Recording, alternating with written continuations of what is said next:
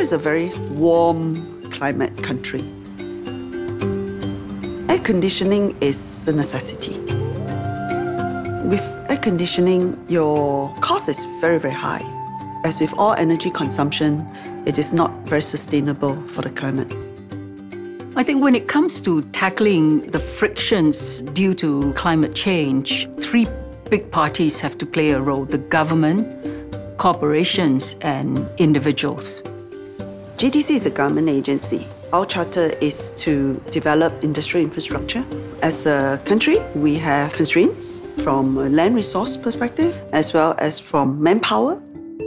Our role then is really to see how best we can optimize the use of these limited resources.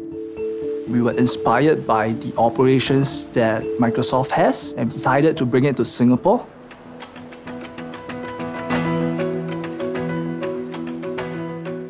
JOPS is an Internet of Things system that seeks to leverage technology, harness it, gather all the building data, do some analysis, ensure that our buildings are efficient in terms of performance. As we develop the system, we redefine the work processes. And at the same time, we develop our people. We upskill them in technology and change the way they work so that they're more productive, they're more efficient. In 1995, I joined JTC. So it's been, it's been about 22 years. When I joined JTC, I joined as a lift technician. Right now in JOPS, I'm overseeing these building management systems which are connected to our command center. We are gathering all this information live. It goes to the Microsoft Azure cloud system. We can analyze this information, put it into a predictive model, and we can predict when the next fault or the next breakdown will be. Within this project, we are able to achieve two key milestones. First is 15% in energy cost avoidance.